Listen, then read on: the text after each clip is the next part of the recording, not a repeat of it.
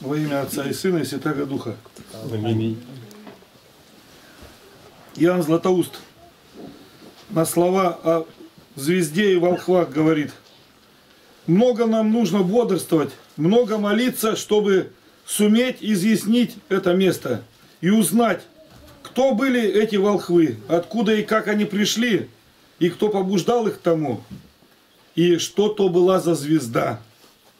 Но если угодно, предложим лучше наперед то, что говорят противники истины. Дьявол так овладел ими, что они и здесь находят повод вооружаться против слова истины. Вот что говорят. Вот сказано, что и при рождении Христовом явилась звезда. А значит то, говорят они, что астрология есть наука несомненная. Но если Христос родился по астрологическим законам, то как же Он и истребил астрологию и отверг судьбу, заградил уста демонам, изгнал заблуждение и не спроверг всякого рода волхования. Да и что узнают волхвы по звезде его? Что он был царь иудейский, но он был царем неземного царства, как и Пилату сказал, царство мое не от мира сего. Да он и не показывал себя царем, но не имел он при себе ни копьеносцев, ни щитоносцев и ни коней.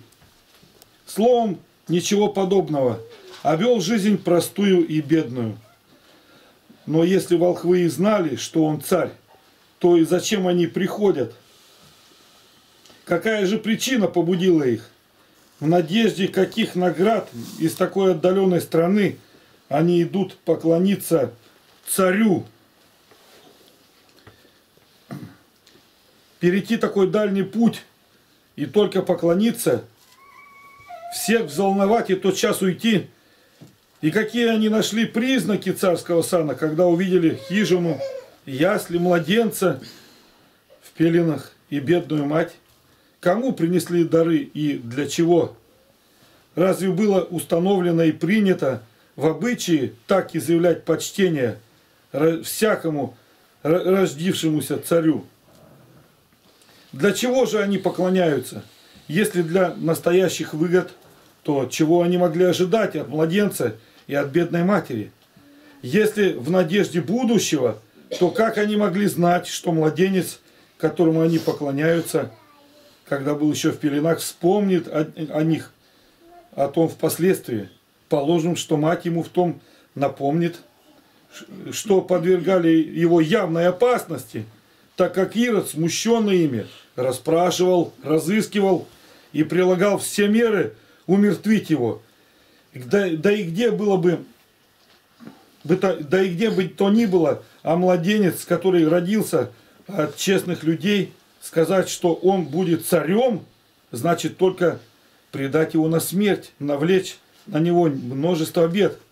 Видишь, сколько открывается несообразности, если судить об этом событии по ходу дел человеческих и по общему обыкновению. Начнем со звезды Христовой. Если мы узнаем, что это была за звезда и какая, обыкновенная или отличная от прочих, действительно ли была звезда или только имела вид звезды, то легко будет понять все прочее. Откуда же узнать из Писания – что она была необыкновенная звезда, и даже не звезда, а, как кажется мне, какая-то невидимая сила, принявшая вид звезды. Это доказывается, во-первых, самим путем ее. Нет и не может быть звезды, которая бы имела такой путь. Видим, что Солнце и Луна, все прочие звезды идут от востока к западу. А эта звезда вела от севера на полдень. Именно в таком положении находится Палестина по отношению к Персии. Во-вторых, тоже можно видеть из самого времени. Она явилась не ночью, а среди дня, при сиянии солнца, что не свойство не только звезде, но и луне. Хотя луна больше всех звезд, но при появлении солнечного света тотчас скрывается и делается невидимую. Звезда же Христова превосходством своей блеском преодолела самый свет солнечный и была яснее солнца. И как оно не блистательно, а она сияла больше. В-третьих, доказывается тем, что звезда та является, ну, то является, то скрывается. Когда волхвы шли в Палестину, она была видна, указывала им путь, а когда вошли в Иерусалим, она скрылась. А потом они, сказавши Ироду, зачем пришли, оставили его и собрались в путь. И звезда опять явилась. Это уже есть движение не звезды, а некоторой совершенно разумной силы.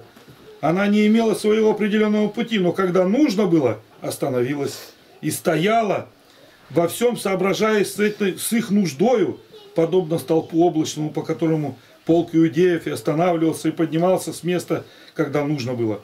В-четвертых, тоже ясно можно видеть из самого способа, каким звезда указала место. Не с высоты неба, а указала. Ну, чтобы указать его, опустилась вниз. Сами знаете, что обыкновенной звезде нельзя показать так мало места, какое занимала хижина и особенно э, вмещалось тело младенца, так как высота неизмеряемая ее, то она не могла бы собой обозначить и определить такого тесного пространства для желающих узнать его. Об этом всякий может судить по луне. Так скажи же, как бы звезда указала такое тесное место и хижину, если бы не оставалась на высоте, и не сошла вниз, и не стала над самую главою младенца. Это самое дает разуметь евангелист, который говорит, и звезда шла пред ними, доколе пришедший не указала на, на, отро, на младенца. Матфея 2 глава 9 стих. Видишь, сколько доказательств на то, что эта звезда была необыкновенная и явилась не по законам внешней природы. Но для чего же тогда явилась она? Для того, чтобы обличить нечувственных иудеев и лишить их неблагодарных всякого способа к оправданию, так как цель пришествия Христова была та, чтобы отменить древние правила жизни – призвать всю Вселенную на поклонение себе и принимать это поклонение на земле и на море, то Христос с самого начала отверзает дверь язычникам, желая через чуждых научить своих. Так как иудеи, непрестанно слыша пророков, возвещавших о пришествии Христова, не обращали на то особого внимания, Господь внушил варварам прийти из отдаленной страны расспрашивать о царе, родившемуся у, и, у иудеев. И они от персов первых узнают то, чему не хотели научиться у пророков. Бог сделал это для того, чтобы дать им вернейший способ убедиться, если будут благоразумны, или лишить всякого оправдания, если будут упорны. В самом деле, что могут сказать свое оправдание иудеи, не принявшие Христа после столь многих пророческих доказательств. Видя волхвов, которые по явлению только звезды приняли его и поклонились явившемуся. Итак, с волхвами Бог поступил так же, как с неневитянами, которым послал Иону, так же, как с самарянкой и хананиянкой. Потому и сказано, мужи Ниневии восстанут и осудят, и царица южная восстанет и осудит род сей. Матфея 12 глава. Потому что они поверили меньшему, а иудеи не поверили и большему. Ты спросишь, для чего Бог привел волхвов к Христу такими явлениями?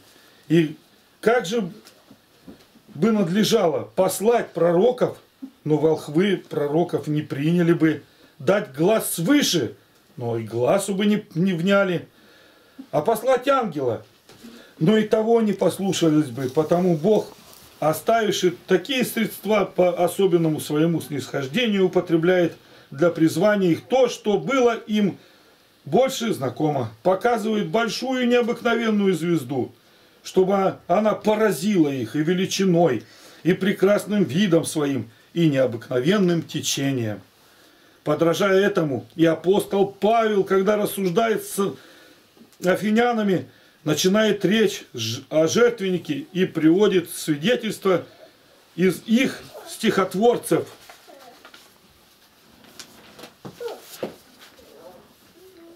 А когда проповедует иудеям, говорит об обрезании уча живущих под законом э, начинать с жертв, так как всякий любит то, к чему привык.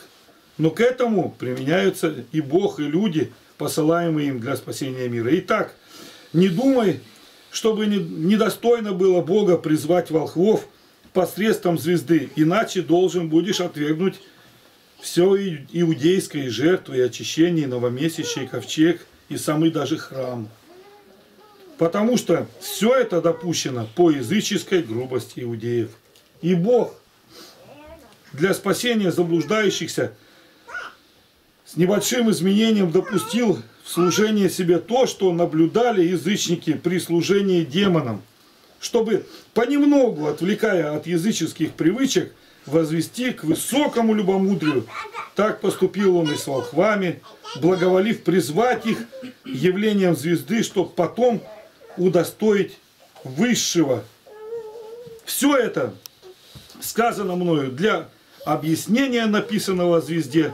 Вы же сами, может быть, в состоянии сказать и более. Сказано ведь, дай наставление мудрому, и он будет еще мудрее. Притча 9, 9 стих. Господу нашему славу веки веков, родившемуся ныне. Аминь.